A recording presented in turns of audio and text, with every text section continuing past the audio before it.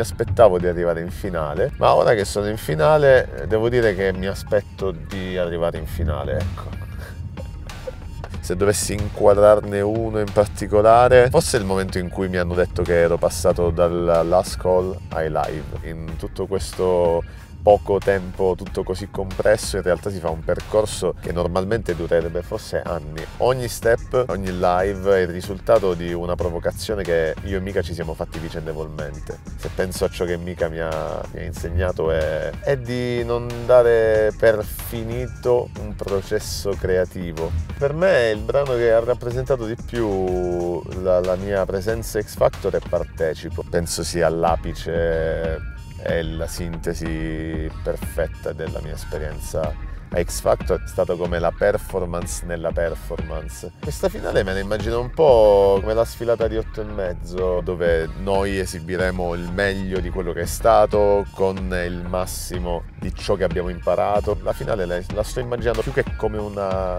ultima battaglia, come la sfilata finale